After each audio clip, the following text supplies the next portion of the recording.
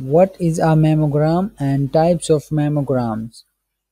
Please subscribe to and press the bell icon to get video update first. What is a mammogram? A mammogram is an X-ray image of the breast in which we detect breast cancer. There are two types of mammograms, screening mammograms and diagnostic mammograms. Screening mammogram.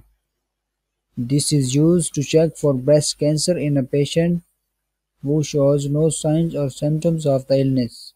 This type of test involves taking two X-ray pictures of each breast in order to detect hidden tumors or macrocalcification that cannot be felt by a typical breast exam.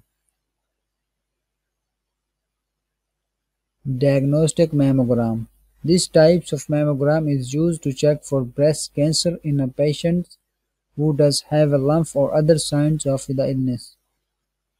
Other signs include pain, thickening of breast skin, nipple discharge, or sudden change in breast shapes or size. Thanks for watching. Please subscribe DiseaseTube.